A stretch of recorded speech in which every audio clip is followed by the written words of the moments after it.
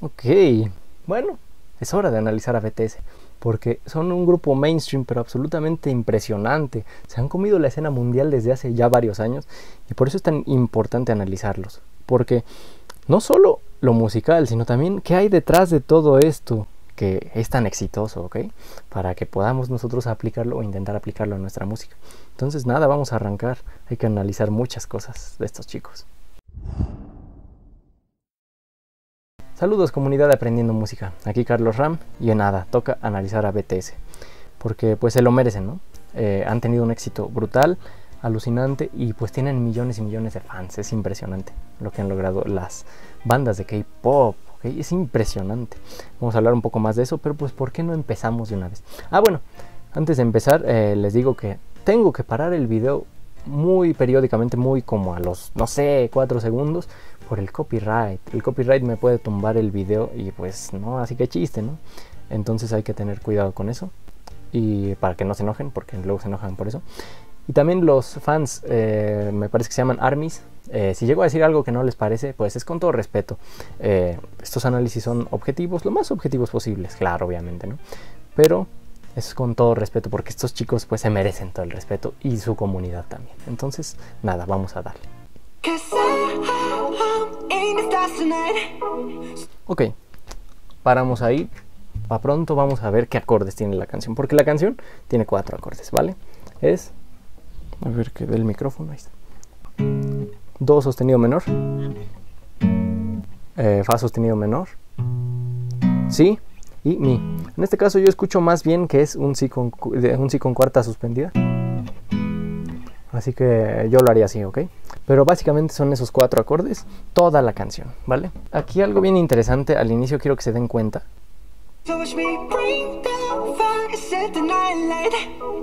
La canción está en un, compás de cuatro cuartos. los acordes están entrando a destiempo, no están entrando al momento de los pulsos, al momento de tan, tan, tan, tan, ¿no? los compases, digo, los, este, los acentos de los acordes están entrando entre esos compases. Eso hace que les dé un toque rítmico muy sabroso ya desde el inicio, aunque solo haya un pianito, un sintetizador y su voz, ¿ok? Entonces ya está empezando rica. está entrando tan, tan, tan, tan, ta, ta, Algo así, ¿no? Eso se llama síncopa y es súper útil para dar ese, ese saborcito extra a las canciones rítmicas, ¿vale? Vamos a darle.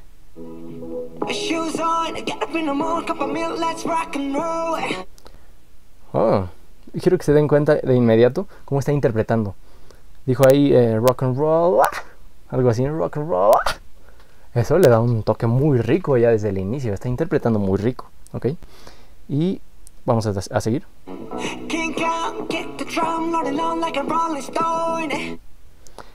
Aquí quiero que se den cuenta de que la instrumentación es casi la misma, pero ya entró el bajo. Para los que creen que el bajista del grupo siempre es el que no hace nada y se vuelve millonario, mientras todos los demás hacen todo, eso no es verdad. El bajo es, pues tal vez, el instrumento más importante de cualquier, de cualquier canción. El, instrumento que da la base, que da la pauta a los demás instrumentos todos deben de seguir más o menos al bajo. Lo que es el bajo y el bombo de la batería, el tamborzote, son los que le dan ese tamaño de, a las canciones para sonar gigantes. Sin eso las canciones no sonarían a nada, sonarían planas, chatas. Esto les da muchísimo sabor y pues una base rítmica. Es importantísimo el bajo, ¿vale? A ver si se escucha, ¿no? ¿Escuchan el bajo? Está haciendo ahí arreglitos, ¿no? Igual y no se escucha también porque la bocina no, destaca los bajos, pero dense cuenta de lo importante que es este instrumento, ¿vale?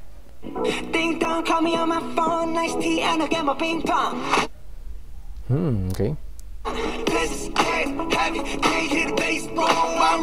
Miren la, la coreografía, es perfecta. Es que no hay falla, pero ni mínima, ¿no? Estos chicos los entrenan tan pero tan bien en sus disciplinas como el baile, eh, la técnica vocal y todo ese tipo de cosas.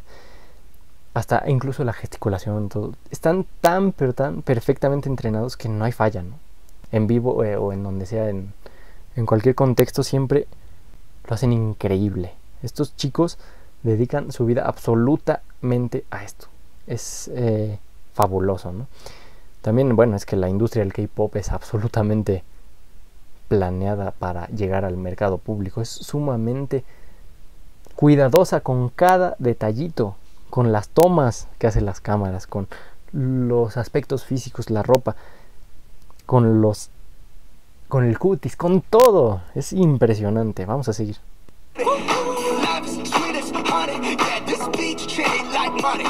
Quiero que se den cuenta que también ya entró la batería, ¿no? Ya está dando pues el boom, ¿ok? Entonces la canción está empezando a crecer.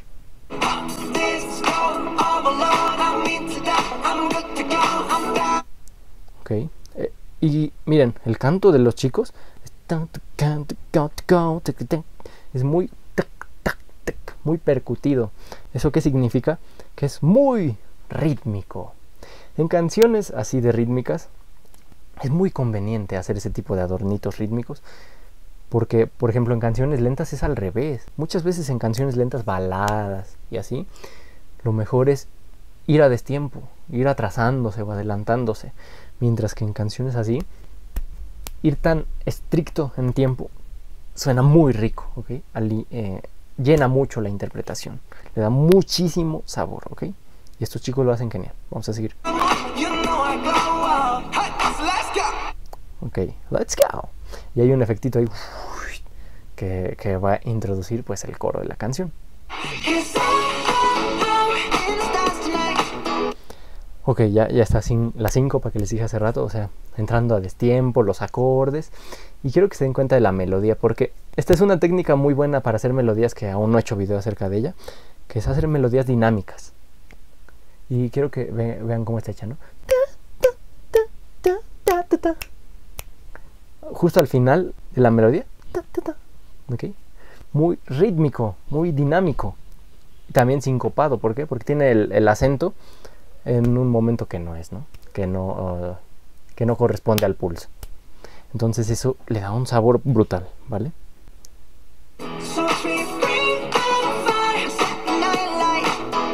Y otra cosa interesante es que la melodía está resolviendo, está llegando a la nota clave, a la nota tónica de la canción, justo antes de que lleguen los acordes. Miren y luego llega. ¿Ok? Entonces eso le da un, una sensación como de que se resuelve, ¿no?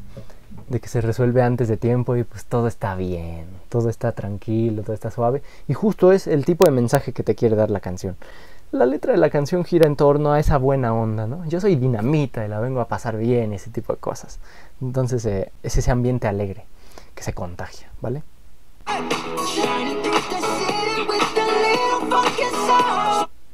Ok. Sigamos. Ahí ya también hay un pianito por ahí, ¿no? Muy buenos arreglos.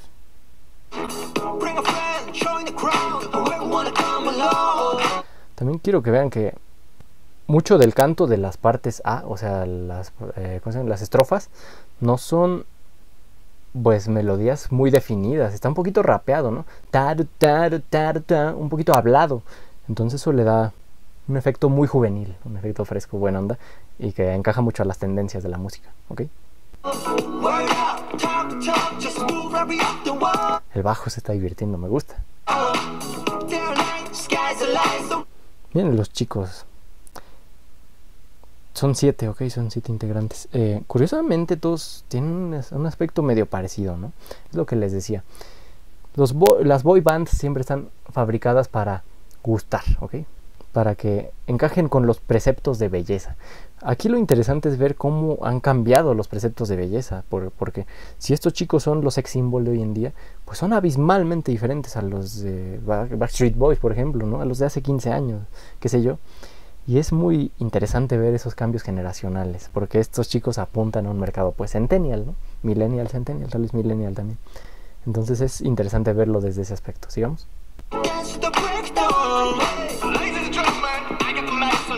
Ladies and gentlemen. Ok, ¿se dan cuenta? Sigamos. están hablando.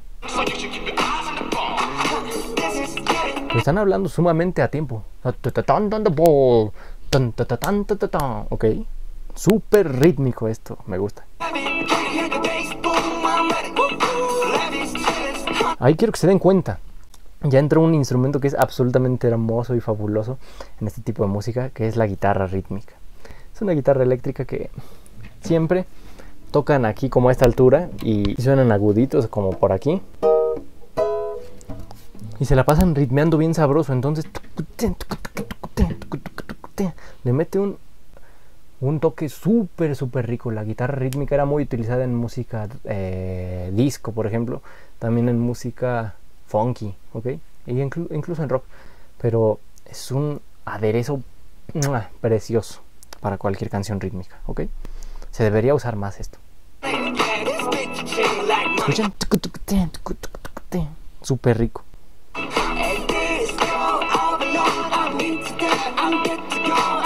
I'm meant to get, I'm meant to go.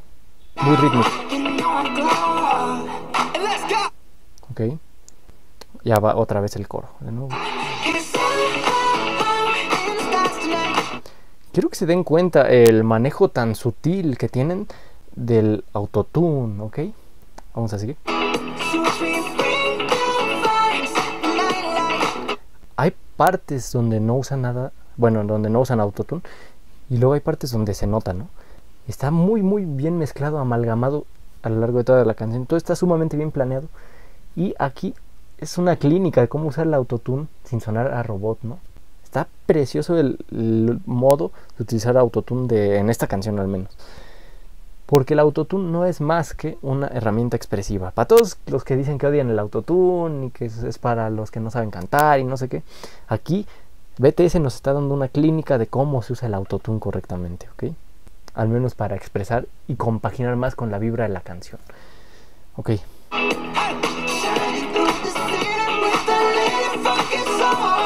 Ahí se nota un poquito el autotune, ¿no? Queda bien bonito ese efecto medio robotizado en esta canción que es tan rítmica, ¿ok? Le queda perfecto. Habrá otras canciones que no sean tan rítmicas, que no les quede tan bien, pero por eso hay que tener buen gusto, ¿no? A la hora de hacer este tipo de arreglos. Porque si pones ese autotune, pues no sé, en una balada romántica suave, uh, sería difícil mezclarlo, ¿no? Eh, tendrías que tener muy buen gusto. Y aquí, pues lo están haciendo muy, muy bien, ¿ok? Y ellos no lo necesitan. Para todos los que dicen que solo los que lo necesitan lo usan, no. Esto es una herramienta expresiva y BTS nos está enseñando, ¿ok?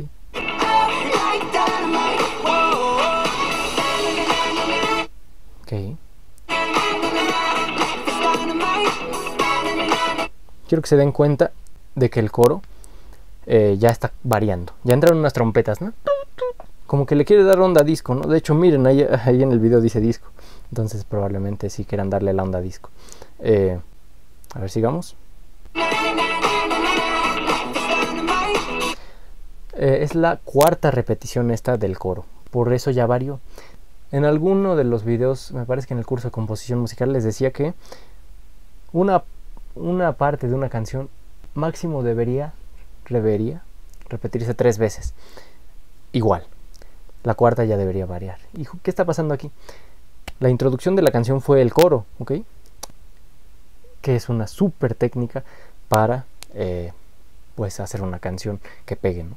¿Ok? Iniciar por el coro es clavísimo hoy en la música de hoy en día en la industria de la inmediatez musical, que si no te gusta una canción a los 15 segundos, adiós, ¿no?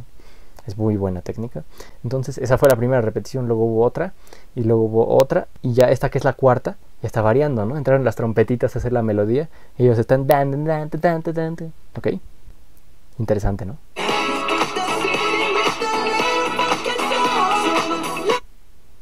Me dan mucha buena onda estos chavos.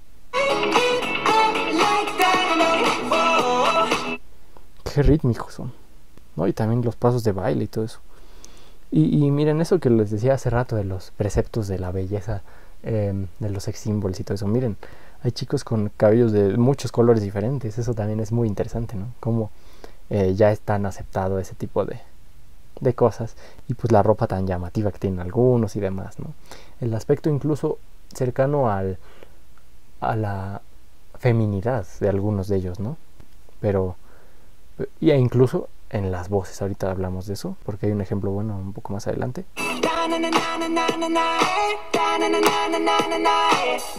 Oigan el, el este autotune, muy bonito uso. Eh, Dynamite. Interpretan bien.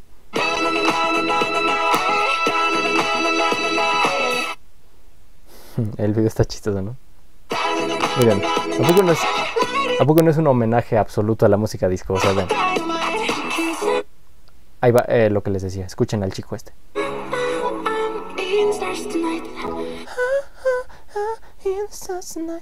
Está cantando muy afeminado. Y no es que esté bien o que esté mal. Lo que trato de decirles es como ese tipo de actitudes. O sea, ya, ya la masculinidad ya se mezcló con el toque femenino y los preceptos de la belleza y todo ese tipo de cosas. Pues ya están más universalizados de esa forma, ¿no? Ya no es el macho alfa el que me atrae o ese tipo de cosas. Ya está bien amalgamado, es agradable, ¿no? Para los centennials y todo eso. Quiero que se den cuenta de que a lo largo de todo este tiempo se ha venido repitiendo la parte A, digo la, la parte B que es el coro de la canción. Justo eh, en este momento, incluso un poco antes, yo creo que la canción pudo haberse acabado y ya ser un éxito con eso. Lo que estamos oyendo son, digamos, desarrollos todavía, mm, pues para que se clave todavía más la canción en el cerebro, ¿ok? Entonces, ¿qué está haciendo ahorita? Se bajó todo de volumen. Solo está el, sintetizador, o una vez más, el pianito y las voces, ¿no? Y el chavo cantando bien suavecito. Eso nos está relajando porque se viene cuesta arriba, ¿ok? Sí, se viene la explosión. Y empezó a entrar el ritmo, ¿no? Guitarra rítmica deliciosa. Y unos aplausillos por ahí, bien, bien acá. Ya está el que te va preparando para lo que se viene. Mm, ya explotó. Uno de ellos hizo. bueno, lamento la imitación desafortunada, pero uno de ellos hizo un agudito que, que pues le da esa, eh, ese punto climático a la canción. ¿no? Escuchen, escuchen, este es el clímax, aquí estamos explotando todos de la emoción, ¿ok? Y bueno, aparte subió de tono. Vamos a ver a dónde. Subió un tono, ¿ok? A fa sostenido. Las modulaciones, o bueno, las transiciones tonales de este tipo, cuando se, cambia de tono, pues, eh, se sube de tono, le da ese toque, puff, de que la canción está creciendo, se está desarrollando, y en este caso lo están usando para que llegue a su éxtasis, ¿ok? A ver. Yo alguna vez dije que esa modulación, digo, ese cambio de tono, lo que sea, eh, a la alza, a mí no me gustaba, ¿no? Eh, se me hacía que no le, no le favorecía la canción, pero realmente lo que pasa, yo creo que sí era necesario, ¿ok? ¿Por qué? Porque la melodía es... Va muy descendente, va muy tranquila, muy buena onda. Alterar una melodía tan buena onda tendría que meterle un poco de agresividad y esta canción no quiere meter la agresividad. Entonces la mejor forma de desarrollarlo eh, fue simple y sencillamente subiéndole el tono. Lo cual eh, se entiende, me parece bien. Y, pues sí, cambio de opinión. Me parece que le queda bien el cambio de tono, ¿ok? Vamos a seguir.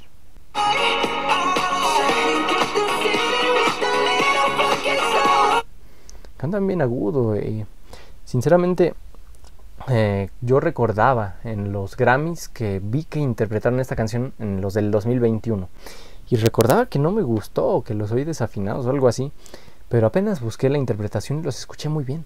Entonces fue onda mía. Quizás, y solo quizás, me acostumbré tanto al sonido eh, robotizado del autotune que tienen en tantas partes que oír los naturales me costó, ¿no? Me costó digamos que coincidieran las versiones y a lo mejor por eso mi intuición me dijo que estaba mal o desafinado. O a lo mejor sí lo hicieron así y luego los afinaron ya a la hora de subirlos a YouTube. Pero eh, no creo, yo confiaré en que lo hicieron bien porque, porque sé que tienen buena técnica vocal y lo hacen bastante bien. Vean, alcanzan notas agudas bien fácil, o sea, muy bien lo hacen estos chicos, ¿no?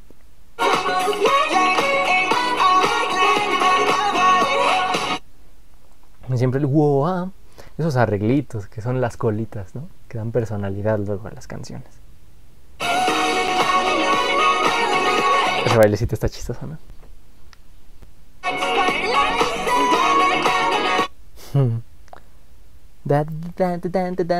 Ya ahorita la, la, canción llegó al clímax en el punto de que les dije que el chico hizo el... Y ahorita pues ya, ya es el relajo, la relajación, la hora de bailar, divertirse. ¿Ok?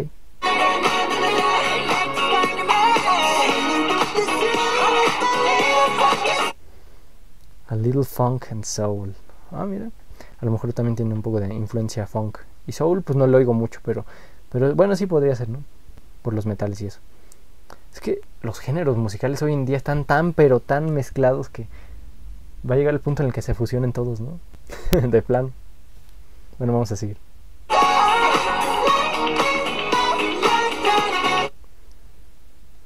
Ahí va a acabar, creo. Me parece muy bueno el final. Acabó justo en la parte de la fiesta. Y dejó el hueco. Eso eh, pues te genera tensión, ¿no? Y está muy, muy bien esa forma de acabar la canción porque es una forma sintética, es una forma de decir, ya no se necesita más. Ya entregamos todo y con que dure eso es suficiente. La canción dura como 3.20, ¿no? Entonces ya con eso que hicieron fue más que suficiente. Y bueno, bien eh, coquetones los BTS ahí, ¿no?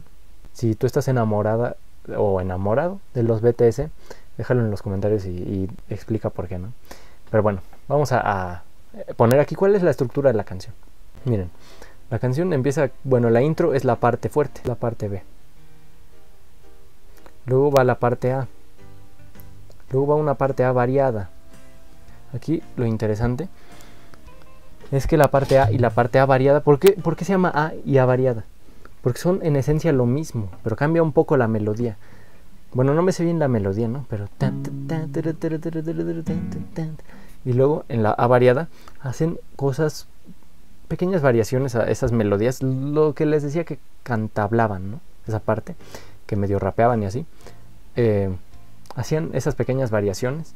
Entonces, pero todo lo hacían con la misma armonía, la misma base armónica. Entonces hace que sea pues lo mismo, la misma parte con diferentes desarrollos y eso le da dinamismo. Ya en algún... Eh, ah, en el video de cómo hacer canciones con círculos armónicos les explicaba esas bondades que tiene hacer canciones con círculos armónicos que se repitan todo el tiempo. Que puedes hacer muchos desarrollos dentro de un mismo círculo y pues darle mucha variedad, ¿no? Unidad y variedad, un principio indispensable en música, ¿vale? Bueno, después de la A variada viene la B, de nuevo el coro. Luego la mm, A, A variada de nuevo. B. Eh, esa A con, la, con el palito es, la variada, ¿ok? B, B variada, cuando les dije que ya era necesario porque la cuarta repetición de la parte B, un cambio, ¿ok? Luego siguen con Bs variadas y demás, hay creo que otras 3B, ¿ok? Y pues ya aquí está el éxtasis de la canción, ¿ok? Entonces la ¿Cómo va la canción en cuanto a su desarrollo de introducción, clímax y todo ese rollo? Pues empieza en total paz. Aquí en las partes A crece, aquí crece otro poco, la parte B crece otro poco. Aquí decrece un poquito, luego en la parte B crece, aquí se sigue el relajo, crece un poquito. Luego aquí es el silencio, entonces se va hasta abajo. Y luego, para llegar al clímax, ¡uh! sube hasta acá y pues ya se sigue en la fiesta, ¿no? Y acaba en la fiesta. Eh, les repito una vez más que esto de aquí, esta técnica de hacer un hueco antes del coro, es muy buena, ¿vale? Es muy buena y le da mucho dinamismo a canciones si están muy planas, porque a veces están muy planas, ¿ok? Les decía que la canción pudo haber durado mm, hasta aquí, hasta aquí y acabar. Si hubiera sido, eh, por ejemplo, una canción de los años 60 que duraban eh, dos minutos y medio o así, hubiera quedado bien ahí. Pero realmente si te hubiera dejado con ganas de más, ¿ok? Entonces me parece bien que hayan hecho todo el desarrollo de las partes B después y que hayan subido de tono incluso, ¿vale? Bueno, es hora de ver entonces cuál es el ingrediente secreto de la canción. Armonía. A ver, hablemos de armonía. La canción tiene cuatro acordes, entonces la armonía naturalmente no va a ser el ingrediente secreto. Pero, pues es funcional. Eh, o sea, se, podría decir que es un poco pobre. Pero como lo, la combinan también, la amalgaman también con el ritmo y hacen esas síncopas que les expliqué, esos toques rítmicos con la armonía y ritmo, me parece bien lo que hicieron, esa amalgama, entonces vamos a darle eh, like. y el ritmo, eh, pues es extraordinario, vamos a, comentarlo un poco más adelante. La melodía de la canción es, como ya les decía, como es tan percutida y como es tan rica, eh, tiene muchísimo que ver con el éxito de la canción. La letra es una explosión de alegría, es llevadera, pero no, sin duda no es el, el factor clave de la canción. Pero pues está bien, ¿no? El arreglo eh, está muy padre, me gusta mucho. Está sumamente cuidado. Y la producción es extraordinaria. Cuando escuchas esto con audífonos, es precioso, la verdad. Eh, cómo cada instrumento está en su espacio, todo está impecable, todo es perfecto. Sinceramente, todo es perfecto. Y es impecable eso. Entonces, eh, en mi opinión, ¿cuál es el ingrediente secreto de esta canción? De los señores BTS. Bueno, si ustedes saben qué significa BTS o por qué se llaman así, déjenlo en los comentarios, ¿no? Sería interesante. Yo no sé nada de estos chicos. Pero mm, yo creo que el ingrediente secreto se encuentra entre melodía y ritmo. ¿Vale? ¿Por qué? Porque entre los dos se alimentan. La melodía es rítmica. Y, y, pues el ritmo junto con la armonía y todo eso es muy sabroso. ¿Vale? Entonces mm, yo se lo daría un poco más a la melodía. Es la campeona una estrellita.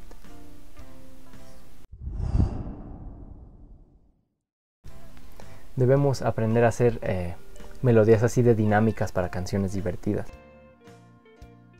Y me da mucho gusto que un grupo como BTS, eh, que no solo, eh, escuché por ahí que no solo es pues un K-pop así normal y así, sino que tiene una propuesta artística profunda, ¿ok? Que luego hacen cosas inspiradas en libros y ese tipo de, arte. Y es muy bueno. Es interesante que hagan propuestas artísticas interesantes mainstream. ¿ok? Eso está padre.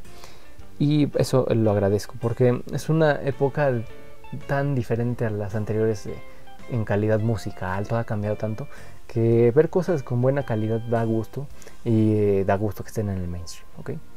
Así que otra opinión personal bueno, si, por ejemplo, si pudiera ponerles algún pero, mm, diría que la canción, eh, a pesar de que es perfecta y prolija, es fresa. Eh, no, no se enojen, pero realmente sí. Yo no me había dado cuenta, pero mi papá que escuchó música de rock pesado y eso, él se entrenó a, distinguir música fresa. Entonces él me dijo luego, luego, oh, esa canción es fresa. pero bueno, la canción es buena.